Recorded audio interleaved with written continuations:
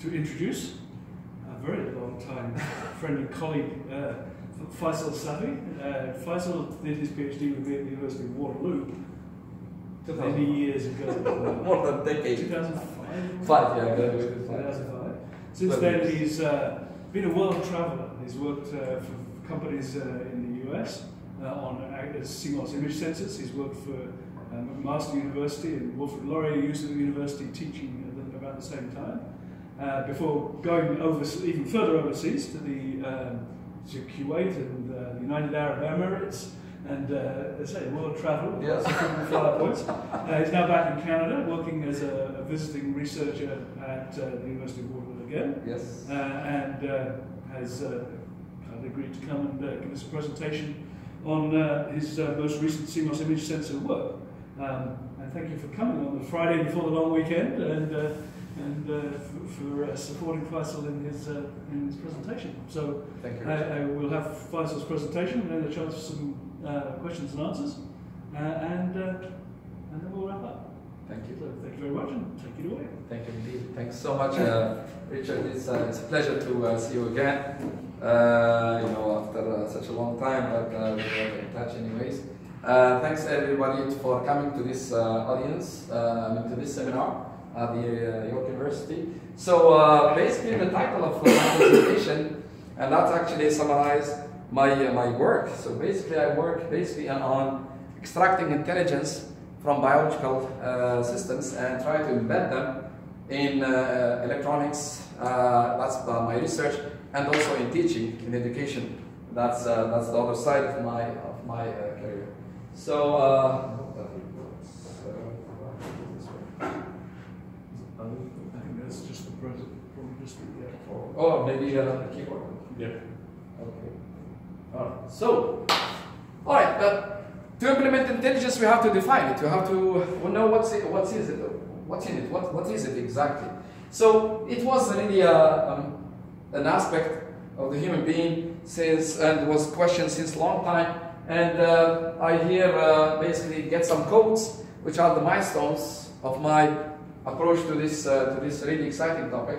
So, for example, um, quoting uh, Socrates uh, from the Greek civilization, he said basically uh, that a quote that is really famous. He says that I know that I'm intelligent because I know I know nothing.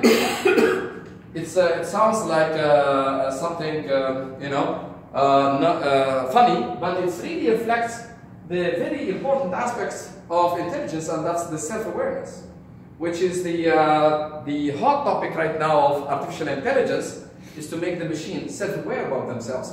And once, uh, once that's achieved, things will really be totally different and uh, the AI will take off really exponentially. And it is taking off. So let alone to uh, uh, reach this, this stage. So this is a character of human being. The human being knows uh, that he's intelligent because he can reflect on that. So self-awareness is really important. Now, uh, for, forward a few centuries down by Albert Einstein, this quote says that the true sign of intelligence is actually not the knowledge, it's actually the imagination. That's the reflectance of the intelligence, and that shows the other aspect of intelligence, and that's the creativity. It to be creative. And how is that achieved? That's another story. But it's a reflection, one of the reflections of the intelligence. Uh, again, in the uh, current times, we can find lots of definitions of intelligence. Some of them that are really uh, very important in business, in engineering and stuff, and stuff like that, especially the emotional intelligence. That's very, very important. The linguistic intelligence, the analytic intelligence. So the intelligence in itself has multiple dimensions. So that's what I want to reflect in here. And this multidimensional aspect of intelligence is really something really uh, mind-boggling. Why it reflects everywhere? That's another question we need to uh, contemplate. And actually, even psychologists, they don't have uh, one definition of intelligence as shown in here. So the, what is really intelligence from all these? These I'm quoting. There are other aspects of intelligence as well. So the bottom line is that there's no consensus of what really makes the intelligence. What is really intelligence? Okay. Um, okay. What's next? Oh, fine. Einstein, after 30 years working on the photons, and by the way, he got his uh, Nobel Prize not for his uh, relativity, he got it for the photoelectric effect, basically describing the photon as, you know, uh, in French, corpuscule. It's like an individual thing, you know, like a... He said that we don't know it's a photon, but yet we use it. We use it in the camera, we use it in PVs, we use it everywhere. But what is it? We don't know. Same thing for intelligence. We don't know the, the matter exactly, what is it, and stuff like that. We see the reflections of this matter, and same thing for intelligence. In this case, let's harness it. Although we don't know it, it's not really a big deal. So for harnessing it, uh, many approaches have been uh, treated so far. The first one is the, the, uh, the most well-known uh, application, which is artificial neural networks. I started uh, this research back more than 20 years in Malaysia, where I studied the artificial neural networks until uh, recently, last year, I presented a paper on that. So this is basic, based on the heuristic processing capability of the neural networks, okay? Which is part of the brain, basically. We are trying to mimic that intelligence of the brain. And that's been used and it's been used. There are many topologies of, uh, you know, neural networks and etc. So that's one of the applications of uh, harnessing intelligence. Harnessing means biomimicry, okay? Now the second uh, definition or the second approach to harness intelligence is basically based on the brain the faculties of the brain, they are really multiple. The brain can sense, can control, can process that, the, the, the information of the sensing and as well as the control, and can do also something really amazing, extracting ideas or intelligence or knowledge, basically by looking at the environment and try to extract some knowledge out of the physical world. This is basically math origin if you, if you think about it, okay? So the brain can do stuff many stuff, not only one. And this integration of functionalities, that one dictates the, the intelligence, is the, the functionality integration too. To integrate many things in one single box, in one single box, and that's what makes a phone, or the iPhone intelligent. I for intelligent because it can do a lot of stuff, okay, in a single device. So, this is, uh, and by the way, uh, back in the days when I was a student with Richard Hornsey, our group was uh, called the Integrated Camera Group, right? And that's basically because we try to integrate functionalities on the camera. It's still going right now. Okay, uh, now, I'm not gonna read everything. So, the, uh, the other aspect here, oh, okay, here before we uh, move here. So, so basically the intelligence also is used to know how this, how the world is, is doing. So this is not really application, it's just a thought, okay, about how really intelligence is made. The last application of intelligence is to extract information, and that's basically for security application. When we say we gather intelligence, we are actually extracting information from the data. So the extraction of information is also one of the applications of intelligence. Okay, having said that, uh, back to, again, the Greek to get some inspiration about intelligence. Um, uh, who's this? Uh, so basically, Aristotle said something really amazing. He said that nature does nothing uselessly. Everything has a purpose, everything has a use. And uh, here, another quote, which I really admire, by Kepler, okay, who is a great uh, German mathematician and astronomer. He said the diversity of phenomena of nature is so great and the treasures hidden in the heavens so rich precisely in order that the human mind shall never be lacking in fresh nourishment. So still, there is tons of intelligence around us in the physical world as well as the biological world. Okay? Alright, good. So where we go from here? So what we know and what we need. What we know is that intelligent design of biological systems have passed the test of the time. They have been here for millions of years and they survived that means they can actually solve multifaceted problems of the, of the life with, the, with, with that aspect of intelligence. Now, what we need, what we know also, or what we need is to also, as engineers, to, to face multifaceted problems as well, and we need intelligence to do that, okay? And one of them is imaging. Imaging is one of the engineering topics, and all engineering disciplines, they have this, uh, you know, constraints that are from different ways, from different aspects, and they need to be solved. And that, we need intelligence to do that. So this is a solution is uh, provided by nature, mm, in biology or elsewhere. And here we have problems in engineering that we can solve. And they, both of them, they share the aspect of tackling multiple problems at the same time. And why not get this for this and for that? Let's get biomimicry going with, with the imaging. Okay, and for that matter, I define or coin this, uh, this uh, name artificially intelligent imaging or AI square. AI square basically is like I square, which is the power formula for the, the heat that get uh, dissipated from resistors. What we mean by that, so basically we're trying to get the uh, power of the intelligence down to or implemented into electronics. We'll go very quickly uh, because some of the uh, things that are deep and uh, specialized in imaging, I will not really uh, get, get you bothered with that, but I give you just a perspective of that. This is an overall picture of the an imaging system. It starts by the scene, passed by the optics, get focused by microlens, filtered by the uh, RGB filters to get the color of the image, and then converted that light into electrical signal, digitized, processed, and then enhanced, and bingo. So it's quite a pipeline of information from the optical domain to the digital domain, okay? So this is basically the anatomy of, of a, a, classical CMOS image sensor, okay? Alright, and the things that are being done nowadays is that we implement more and more, you know, even uh, uh, figure recognition, things like that on the same chip. And that's what we, care, uh, what we call system on a chip. That's where really the intelligence of the image sensor is going right now. And uh, the future is really uh, without limit in this sense. So this is just uh, basically a picture, a micrograph, a microelectronic graph of the picture. So basically an image sensor consists of a sensing area uh, control area and the sampling area. And of course, you have the different, uh, you know, signals, input IOs basically uh, analog and digital to uh, get these, uh, the image out of other chips. Just, uh, you know, uh, an introduction about the application of our AI square formula. So, to implement the artificial intelligence, artificial intelligence imaging, we had approached it in three ways.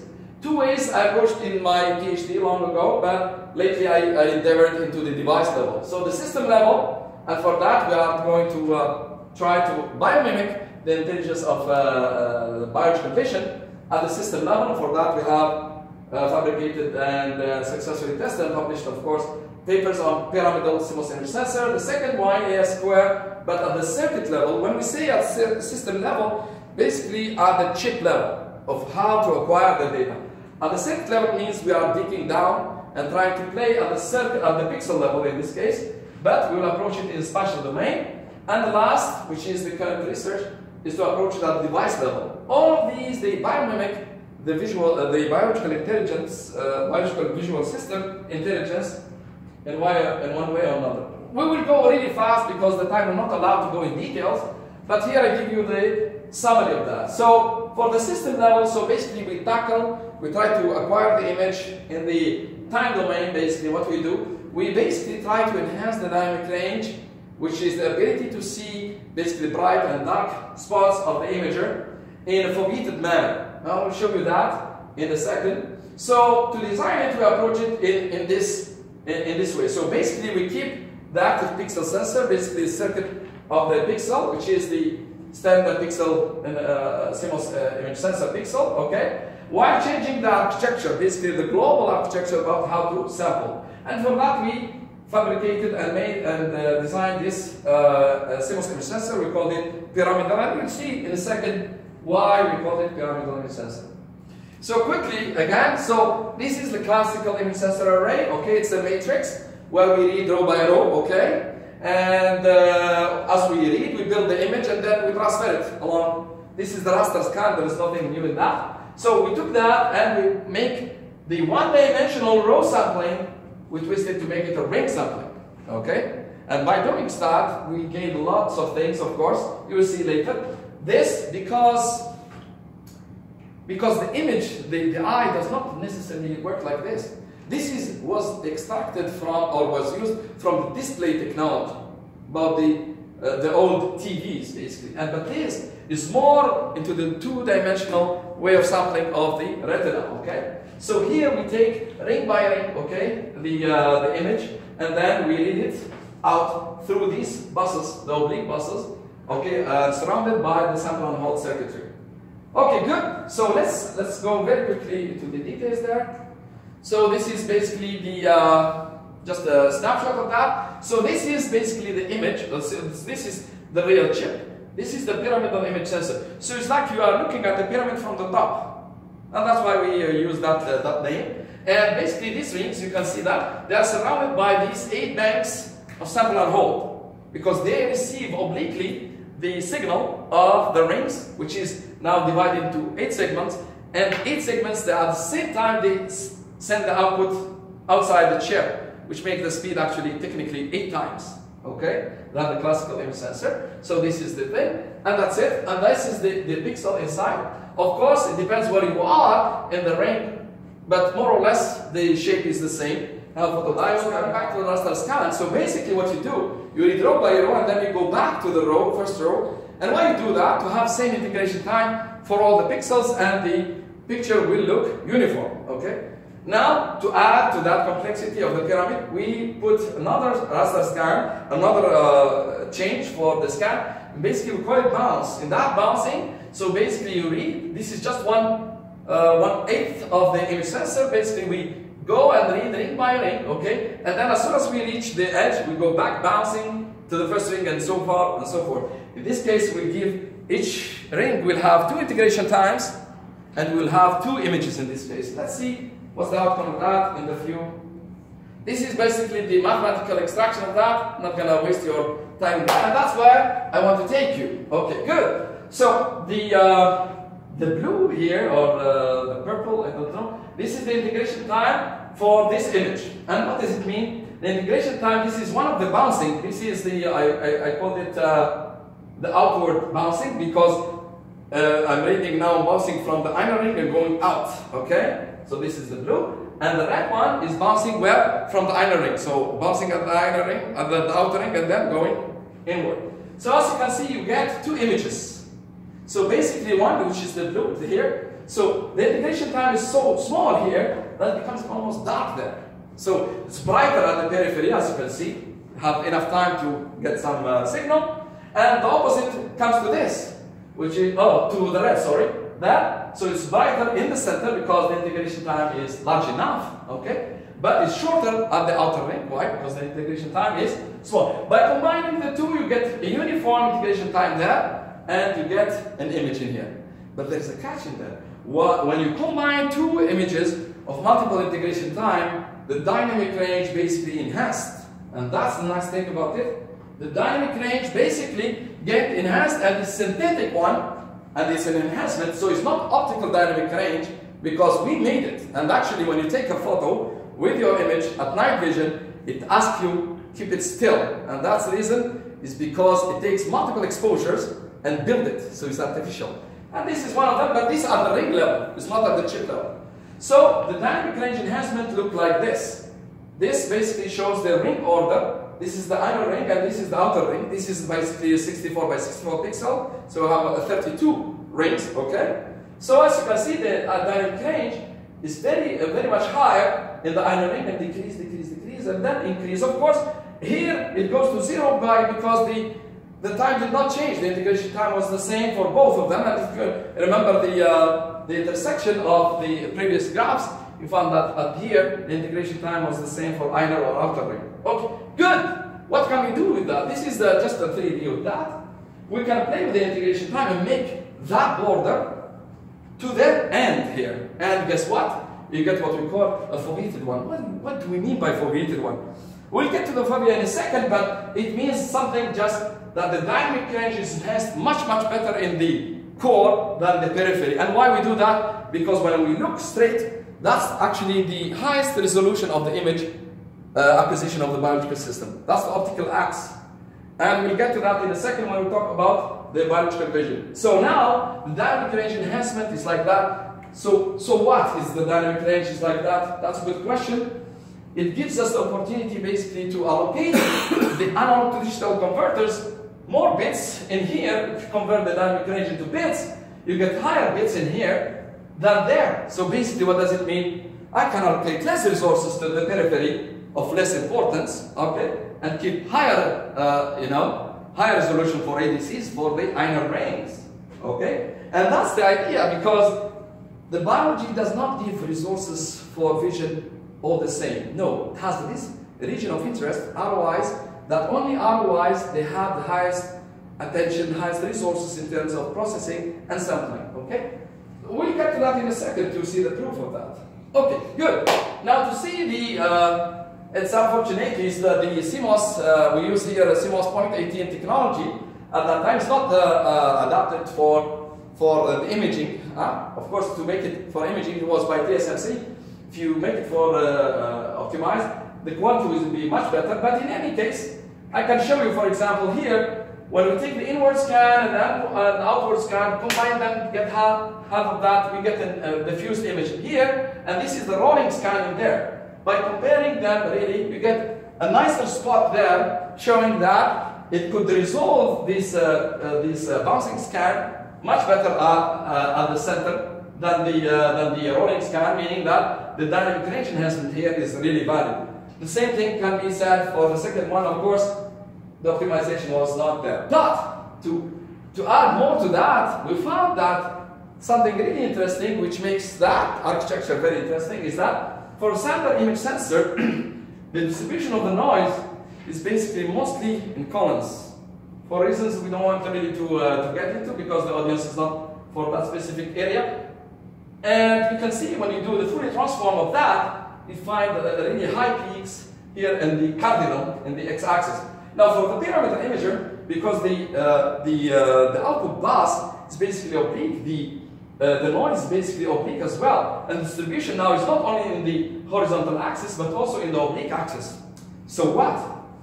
We know from biology that, that the human visual system, as well as the most of the uh, biological visual system, we have less uh, perception of you know uh, noise or uh, we have less uh, perception of edges in the oblique here than the cardinals in the 0 and the 90. Basically the cardinals, the axis here.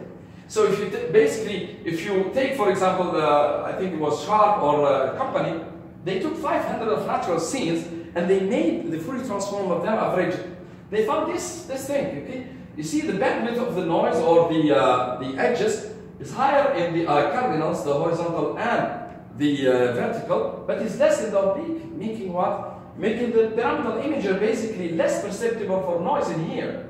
So basically the pyramidal imager makes that noise less perceptible and therefore it doesn't exist for human eye. Which is really nice thing about that, that aspect of noise distribution. The second one, the second approach of AI formula is basically at the circuit level. And for that, we played with the time for integration time, now we play with space. Okay? So the sampling now of the image at the pixel level, now we try to play with that to do something. And that is, we don't treat all the region of the image the same importance. They are not all region of interest. Only those who are who we choose to be, we sum them at the highest resolution. And that's basically the philosophy of it. So how we do that? So basically we keep the standard uh, the standard sampling architecture, which is the raster scan, and we modify the structure of the APS to basically program the region of interest and choose which one we like. And for that, we designed a chip that we call multi-resolution CMOS image sensor. But this one had issues at the, uh, the technical level, and uh, we did not pass all the, uh, the final characterization, but I have to explain the idea just to show you uh, how, it's, uh, how it's made. And by the, basically, few years back, I found a, a, a I found a patent, I should have referenced it here, by Micron, and they took this from, uh, they took the idea here and developed it further from one of the SPIE conferences, and the idea is the following. We have a matrix of the pixels like that, okay? Now, if we are interested on region, or region of interest, any, any region of interest, we keep it at the highest resolution, which is the resolution of the pixels. But the areas that we are not interested to get its highest resolution, what do we do? We brush it. We take the average of those pixels. And to do that, basically we create two averaging mechanisms by embedding in the circuit, we'll show you that in a second, by embedding in, in the pixel charge sharing circuitry, okay, to, to share the charge of the pixels both the, between the rows and between the columns, like painting. Painting, like this. You paint like that. So you get the what? You get the average. And that was the inspiration of doing that. We can see that uh, circuitry in a second here. So that's, uh, so again, we cannot really go in details because lack of time. Of course, we have a photodiode, we have a, you know, a, a shutter uh, transistor there, and we have these four transistors that play the game of doing the row averaging and the column averaging based on our program. We program the areas. And what we can get from this? Oh, we get a few, few stuff. This is a simulation of Albert Einstein. Of course, I like this picture not because only I admire this guy, but because his mustache, the famous mustache, has highest resolution, right? I need his mustache. I like his mustache.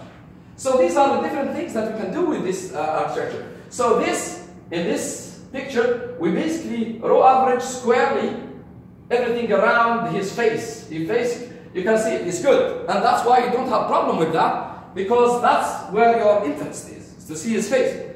What do we bother with the periphery? So why we sample it at the highest resolution? And that's the idea. So this is one uh, straightforward foveated uh, image acquisition. Now the second one is random. We can basically randomly select which area we want at highest resolution and go average anything else. Of course, we can have not only one, we can have multiple fovea. So basically, where is that? Ah, here, in this case. So here in this case, we took this fovea and we took his cravat at highest resolution. So we can multiple that. And actually in biology too, in uh, one type of the hawks I read about, they have not only one fovea, they have two. And uh, when we read about it, it's basically because the hawk, uh, he is trying to, you know, chase a rabbit or any, you know, prey. So they need to see their flight as well as their prey. Okay? So for that, the biology gave them, you know, two fovea, the highest resolution, the prey and the safety. So, which is really something unbelievable that the uh, biological vision is doing. And it's not only the, the only thing that we are going to face in biological vision. More. Now, also because we are able to program the kernels to, low, to lower the resolution, we can basically minimize the distortion. Because basically, if we do the averaging perpendicularly to the, to the, uh, to the, uh, to the contrast, we can basically not touch the, the contrast information at all. In any case, this is uh, just to say that we can basically enhance, we can compress the image without deteriorating the quality of it. Back to the biology. Ramon Cajal, long, long ago, he touched the retina here. He open the retina and he tried to understand how we are acquiring the image. And he found basically across the optical axis in here, he tried to look at the distribution of photocells. First of all, in the retina here, in the retina, we have two types of photocells, and they are here. Huh? We have the uh, the rods, which ones? Uh, the cones and the rods, okay? The rods, they are color, uh, the, the, the, the, cones, they are color dispersive. That they can't, de, uh, they can't discern or can distinguish between colors, but the rods, they are color blinded. That's number one. The connectivity between these photocells and the ganglions, which are the neurons that are responsible to take the uh, electrical signal from these cells which use the electrochemical tra transducing to get the electrical signal to the uh, to the uh, visual cortex. They have different uh, different connections. The rods they have one-to-one -one connection, and uh, the rods they have a many-to-one connections. Okay, this is another aspect, and this basically takes us to the distribution from here to the distribution. The core, the rods, okay, they have a very interesting distribution and they basically are very low in density until we hit the optical axis. Okay? And they go exponentially high. Why? Because the highest resolution. They are the best in resolving the color as well as the light information. The rods, on the contrary, they are higher on the periphery and they go down. For front side illumination, basically, as I said, basically we have the photodiode on the bottom, and on top of it we have all the uh, you know the wiring and stuff like that. On top of that, we have color filtering and the micro lenses to enhance the fill factor and the sensitivity of the photodiode. This is the old technology, still used, but in low, uh, low end uh, applications. Now, later on in the early uh, 2010, the backside illumination technology comes, and basically the light is now, uh, basically should be actually on this side, okay? Because the light comes uh, in, in here. Or basically no, because the chips, they are uh, flipped like this. So now the light, the, uh, the uh, wiring and the oxide between the layers of the uh, front, uh, front end CMOS, they are not really uh, hiding the photodiode. So the light comes right to the photodiode and that's why it's backside. So you use two chips and the, the sensing chip where the photodiode is will take that light, okay? And uh, from the bottom basically you can wire bond and things like that to make the uh, ROIC read, read out IC for the image sensor. Uh, now in the CMOS, it, it went also in a very interesting development, and that is from 2D to 3D. The classical uh, FET, uh, it's not shown here, I'll show it in the next slide. So it's used as a planar, it's a 2D technology, there's no question about it. This is the standard planar CMOS where we have the source and drain, okay, and we have basically the uh, source and drain, and we have the gate and it's actually 2D. Now, as you know, it's an old technology now with aggressive sub-micron technologies. Now the gate, I mean the channel itself is a 3D. So no more 2D. Why 3D? Because again, the real state of the shrinking technology is getting really smaller and smaller and more expensive to, to waste to increase more functionality in it. Okay? So, so both CMOS technology as well as the CMOS imaging, they went from 2D to 3D. And if you think about the uh, imaging uh, technology, it's basically photodiode is they are trying to basically integrate the light in the vertical direction rather than the horizontal direction. Why again? Because we want to enhance the resolution. But by doing that, by shrinking the size of the pixel, what happens? This is basically the uh, standard APS, active uh, pixel sensor. These are the, by doing, by increasing the resolution count, increase the number of pixels, uh, stuff like that. By increasing that, what we are doing, we have to decrease the pixel size. And by decreasing the pixel size, we compromise the image quality. Why? Because if you think about a, a pixel, it's basically like a bucket for the photons, okay, where you do the photoelectric effect. As the bucket decreases and shrinks, the amount of rain or water inside the bucket decrease. So basically you compromise the, the image quality. The biology does not do this because the biological vision does do things different way. So the idea now is to decouple really the resolution count requirements from the pixel size. and this is what the biology has done long, long ago. Okay? But how can we do that in our technology? So right now what we do, okay, because the photocells, as you can see, they see the light, they sense the light on the direction of the light. They don't sense it in the planar. They say sense it exactly along the, the, the path of the light. And they can actually sense even a single photons. Okay? Which is really amazing. Okay? So, what can we do? Let's put, put the photodiode like that shape and make it like this. We get basically an N-type or P-type, whatever it is, and the other semiconductor around and make a pillar. And that's an idea I, uh, I started actually think about it at the end of my PhD, but never had the chance to basically realize it until I traveled around the world looking for money and opportunities to do that. So when I touched the semi-empirical equations uh, of the sensitivity of the pixel, again, this is uh, referenced in a paper, I can show you that, I found that the sensitivity of this type of photodiodes is very interesting. It's actually proportional to the height of that pillar. And while writing that paper and finished, I found amazingly that poop frogs and uh, some kind of fish called the Haplochromis burtoni, I don't know, it's maybe Italian fish, I don't know. What they have, very interestingly, that the photocells, they actually elongate when they have the light low, and they contract when they have the light high. That basically the biological visual system they actually contract, they, they control the light, the height of the photocells to basically play on the sensitivity. When they have enough light, they contract. When they don't have less, they elongate. And of course, this cannot be for any value of h. Of course, it has a validation range. And that's what we are doing right now on fabrication as well as simulation. So this shows the proof that yes, the silicon can do the same like the biological photocells. And that's where the biomimicry is. We can build photodiodes that can have its sensitivity proportional to the height, which is something really uh, interesting. And one more thing, the photodiode has the smallest footprint that we can do. The smallest in terms of technology. We cannot go beyond our limits. But then the only gain we can control is the height, which is which is more or less unlimited. Now, because we are dealing with photodiodes, and photodiodes are not only for sensing, they are also for converting the energy of the light into power.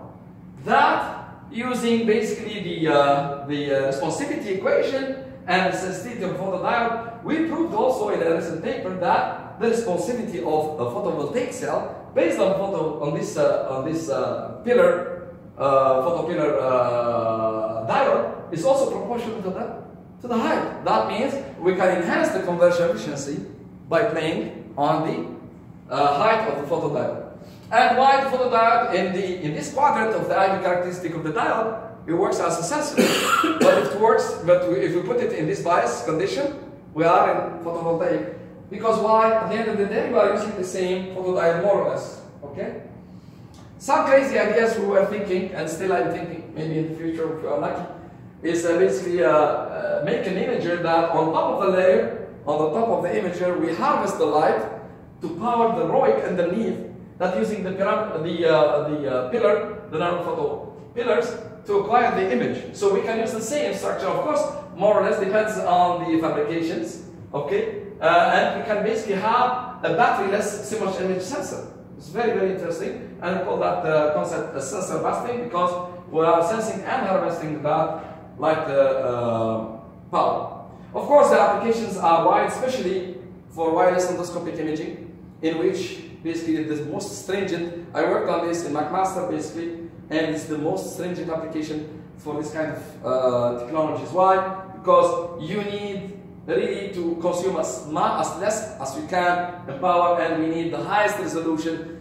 So all the odds they come here to make this pill, and it's still available in the market, but the technology uh, development there is endless. And of course, the phone, uh, camera phone images, they are one of the hottest applications for this technology, as well as automotive to name few. Okay. All right, uh, a, a, team in uh, Berkeley University, they worked on these pillars as well in different perspective, and uh, they uh, published also some of their findings there, but in a, in different uh, in a different way. But it shows one great aspect of the uh, you know pillar for the diode. Basically, you can bend them basically and have a bending uh, PV cell, which is really give a boost for wearable technologies. Okay. Uh, so again, with this technology that we suggest, we are trying to get the benefit of the front side illumination technology, which is a cheaper technology compared to backside illumination, by modifying the devices. So basically gain, getting the cost of the front side illumination with the, with the quality of the back side illumination. Okay, this is uh, basically finished the first part of my talk regarding embedding intelligence. Now the second part is regarding the education, which is something that we should work, we should really give importance for our future generation. And for that, I suggest to embed intelligence in the education system. If you go to this talk, you will see what I'm uh, talking about. So basically for this, I, I took the first definition of intelligence, which is the self-awareness. Education, to embed intelligence in the education system or uh, engineering education specifically, we need to make the self-awareness a very important component of the teaching. And that embed uh, experiential learning, uh, embed uh, project-based learning, etc., etc. All of these techniques of teaching, they play the role of putting the student as a self-aware uh, entity to make it intelligence, to learn, and to be self-drive. So the dynamics of education, as I said, is basically it's, uh, it's not straightforward. It should be student-centered, student a factored uh, uh, teaching methodology. And for that, we have to encounter or include the psychology of the students, okay? We uh, have to blend, bring different modalities in learning, and especially we have to make all of this around this self-awareness aspect, which uh, really very important for the teaching of the students. I'll show you my experience in a second, but before then, I uh, have to tell you about the STEM engineering. Uh, the M is about that. STEM, science, technology, engineering, and math curriculum was started in a project by uh, President uh, Barack Obama uh, back in 2009, and they poured billions and billions of dollars there, uh, which is uh, something fascinating. I just came from an American Society of Engineering Education conference where I published my findings there, and you cannot really imagine how much the industry and the, the academia are working to uh, on this STEM curriculum. And what is this STEM curriculum? Basically, to embed basically multiple disciplines, especially these disciplines, uh, uh, science, technology, engineering, and math, in the education system of the of the students. Okay, and I did that in uh, in this uh, in the course I was teaching in fundamentals of microelectronics in the UAE, basically by embedding basically lab work in the class itself. Not to waste the class, but I do shoot the lab experiment, okay, and I bring it to the students. But before that, I have to prove to the students mathematically the, the thing that I want to prove with my experiment. So this is one of the applications of STEM that I endorse. So basically why we do that? Because one way only of learning is not enough. You have to approach the learning in different facets so that to convince the students of the importance of the thing they are learning. Okay? And why we do that? Why we do that? Why? Because artificial neural network, one of aspects of artificial neural network or applications is called the uh, content addressable memory or associative memory. And basically that, the memorization that we use in our everyday life, basically we get different inputs and we associate them to remember them, okay? That's in a nutshell, okay? So, one of the architectures I was working called bidirectional associative memory Basically, it basically associates one layer of information to another layer through the synaptics, okay, that you can program them using any rule. I used at that time Hebbian rule. And how to implement this in the class. So basically, before the class start, I have to embed the STEM in the presentation I'm going to give the students. And then these get recorded. Okay, of course I have to present in the class, and I record my class at the same time. Okay, and then when the students after the class revising, trying to understand or redigest what the student has learned, basically it associates the moment of learning with the video that is the student is watching. By doing that, the aha phenomena or the deja vu phenomena comes and enhance the learning process of the student. And that's where the associative memory basically we associate the event with the picture that, or the video in this case, inside the brain of the students, and that's how we enhance the recall process of the students. So this is the uh, neural network aspect or the artificial neural network aspect. I ran uh, multiple uh, really uh, evaluation uh, pre and post exams, like for example this one, the pre-midterm exam of this methodology, we call it AIM, and after the, uh, and also before the final, and just ask the students this uh, question. Uh, how they like that this blended learning, uh, blended learning in the sense of the class and also the video. Of course, they are all published in, on my YouTube channel. And most of them, really, most of them, more than the class, they, most of the class, they find it like very useful or useful. So almost 75% they agree with that, especially when, you, when comparing the final to the midterm. Why? Because the final, the amount of things they need to remember is huge.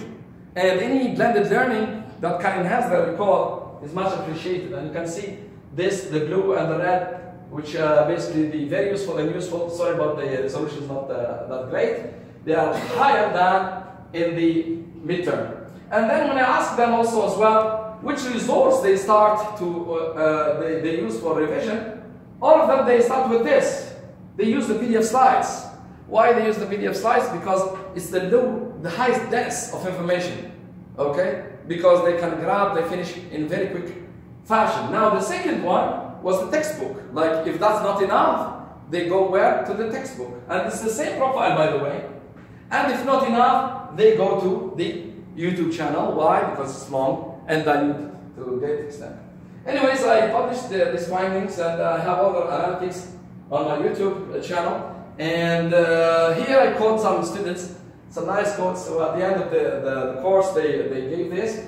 So, uh, like for example, I want to read everything. I read the last one, which is the one I really like. Excellent teaching. I. The course was interesting, even if the class was at 8. Indeed, we start at 8 in the morning. It was fun with learning. The only class, we don't feel sleepy, which is really a great uh, thing to read about this technique that it has uh, uh, really helped the student that much.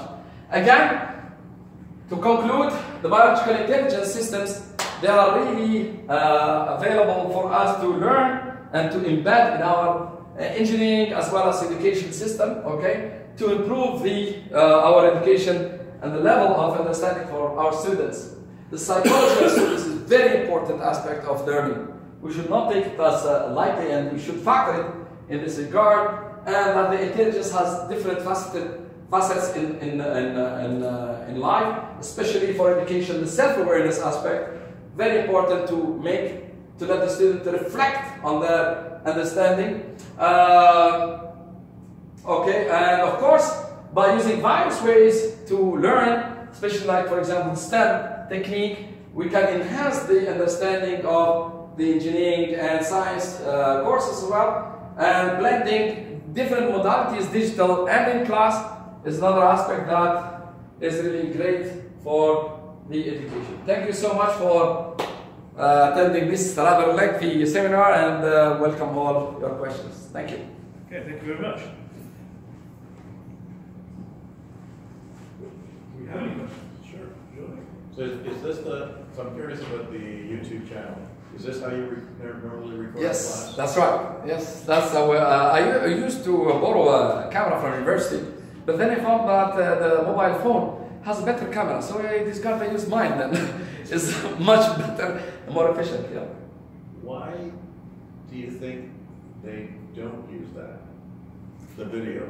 The video. If you looked at your, your Hmm. statistics, your, your PowerPoint notes, Yeah. PDFs, was Yeah. the most helpful? Oh yeah. I have to. Yes, the slides are yeah. Okay. Uh, I don't have it. Uh, really nice one on this. Yeah, this one. Yeah, of revision again. You know, they are smart, the students. We are smart. If you want to revise and you want to finish the revision in very quick time, where do you go? You go to the most dense source.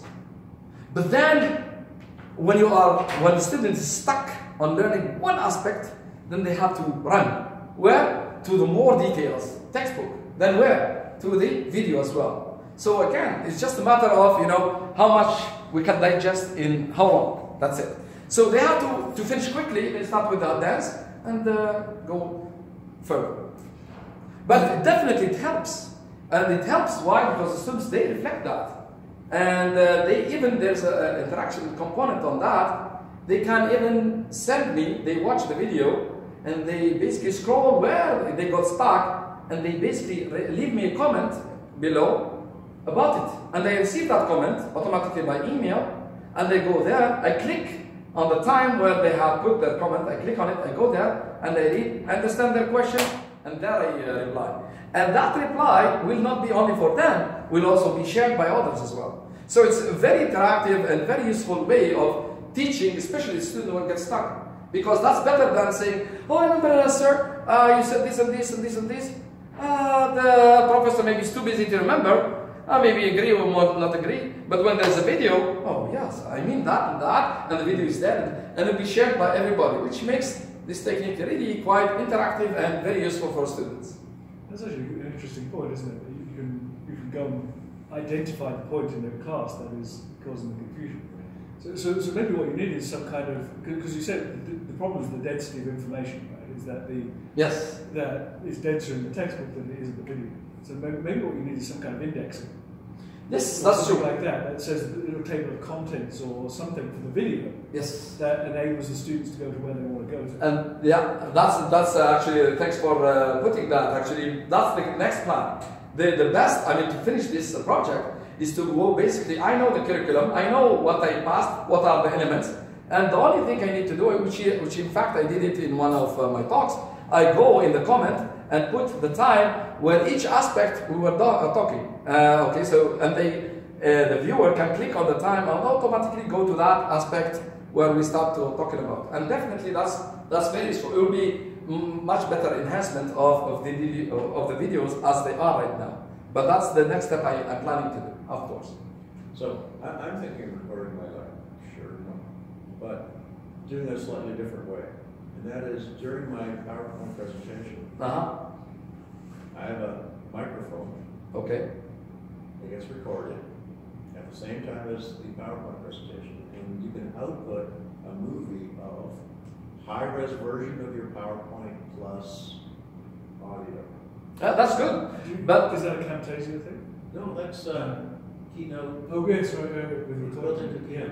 Yeah. No, there are there are different techniques. on a different. Yeah. But why I like this rather than this, I, I, I like the idea as well. But this one, I really want the moment of the learning. You know, students when they attend the class, they try to put their psyche and themselves in the mood of concentrating. I'm here to learn this. You know what I mean? And the visual, you know, interaction between this, the teacher and the students make that bond of learning stronger. And when they watch that in video, it becomes like, hey man, I'm living that moment again. And that's the recalling process, which is another dimension, not only the content itself, but the uh, human interaction between teacher and students.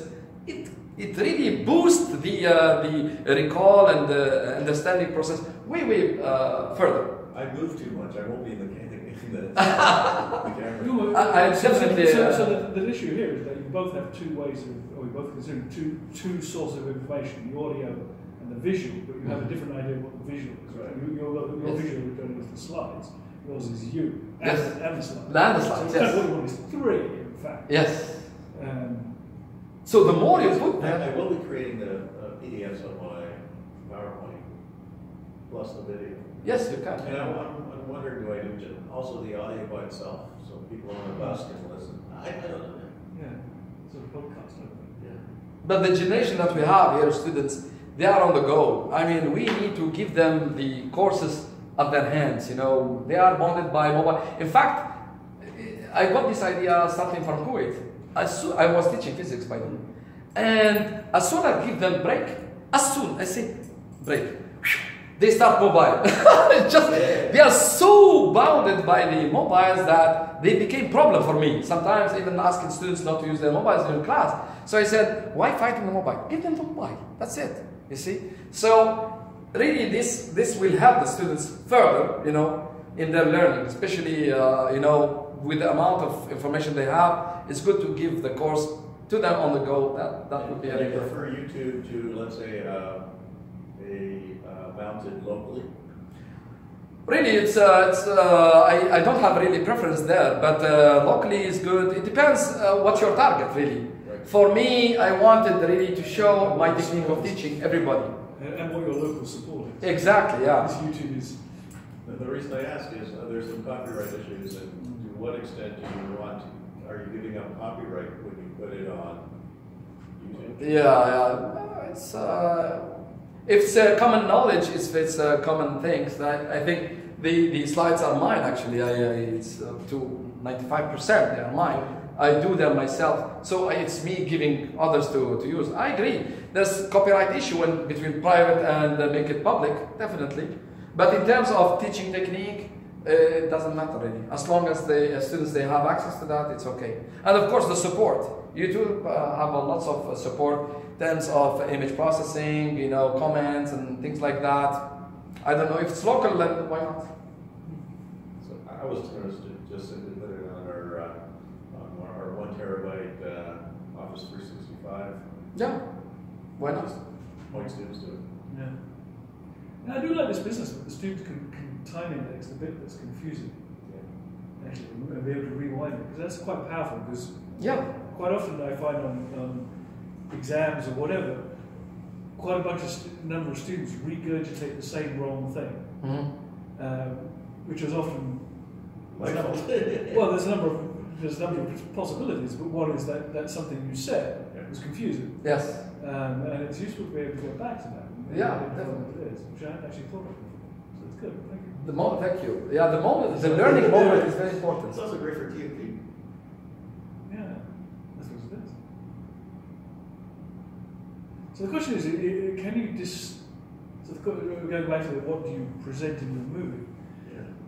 It'd be quite interesting to see how far you can, by eliminating various things, where do you get to the point where it's useful?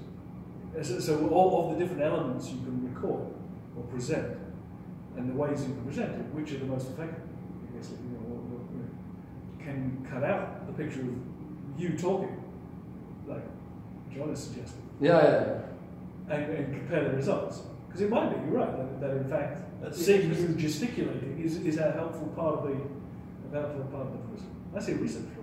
Yeah, definitely. Yeah. No, it's uh, uh, really to have evaluation on these techniques. It has to be clinically done because it's uh, you know you have to uh, especially when it comes to quantization of the uh, learning uh, aspect. It's very hard to do it like in every day. But if you do it clinically and uh, you you try it, it's, it's, that's how it should be really evaluated to be specifically. But really, from my general understanding and interaction, I think the uh, the teacher is a major component in the learning in the learning process. Because just just watching the slides or hearing it, hearing is just an addition. It's very good, but also the gestures, the uh, the interaction. That's very as much as you add to uh, that moment of learning, you get that to the students is good. Sound, video, you name it, whatever you can. And you give them PowerPoint beforehand? Uh, I give the slides beforehand, yes.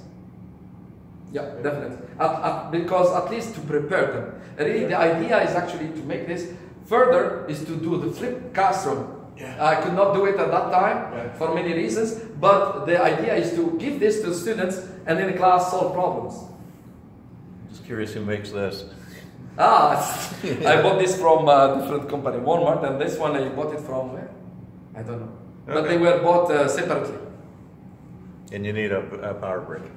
yeah. So, so, so the other, the other way, way that some of our colleagues are doing this is around addressing the issue of density, is to do these very short videos. Yes. Uh, and so James, for example, That's right. um, he he he um, identi- he he identifies a particular skill or Yes. technique or That's even better. or recipe or something. Yes. And he does a five-minute video that says, if you want to do this, watch, Watch this video. Yes, yeah, and- and absolutely. that seems to be really good. Yeah, definitely. Yeah. yeah. It's not, not so much the main part of the of the, of the course, Yeah. but elements of things that people Absolutely. to do. Absolutely. Particularly, uh, I guess, in, in certain operating system environments or something like that.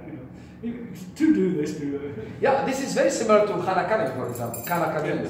It's very similar to that. So basically, uh, and um, I'm using that to teach my, my kids, Mm. all of them, from grade uh, 2 up to grade 8. So the Khan Academy is that is specifically, you can click on specific aspect, watch it, Right. and then do the solution and uh, tackle the problems. It's very, very, very nice. Right. Although his mainly his, his picture is not there, but his voice there and the, the board is there. But it, it, it does boost. Uh, really, all my kids they love they love it and they enjoy it. Because in a sense, a lecture is just a, a sequence of these parts. Right? Yeah. So, yeah. So for me, it's, it's, it's my laptop, keynote, and you have the earphone, the AirPods, Yeah. the little microphone. I could be anywhere in the room. Well, that's good. That, And- that, and- that and technology. transfers it through. It transfers it to, to the You should, have you talked to Jit about this? Because Jit's uh, trying to do the same thing with his version of No. the, you know, the new, uh, the new iOS 11.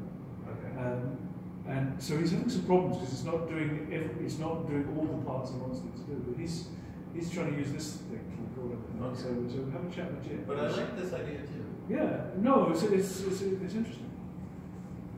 So that's just a power. Yeah. Yeah. Uh, That's uh, just for power. yeah. Yeah, it's a nice, nice little uh, Yeah. stand, isn't it? Yeah, I was looking really. At, I had a tripod before, and uh, it broke after because. Ah, yeah. But this one does not have the mechanic. It has the rotation thing, so yeah, that's why I got it. Yeah, and this is basically selfie stick. This one, this is selfie stick. Nothing more, not really. Selfie stick, and that's it. you stick it in. Yeah, yeah, that's it. There's a screw there that you can screw in there. That's it. You're gone. So you can, you know, when you're walking around, you say you're walking around too much, you take the selfie stick. Yeah, that's it. Or, Oh, or you have a helmet with a kind of, a kind of arm oh on my it, Then you look right to it.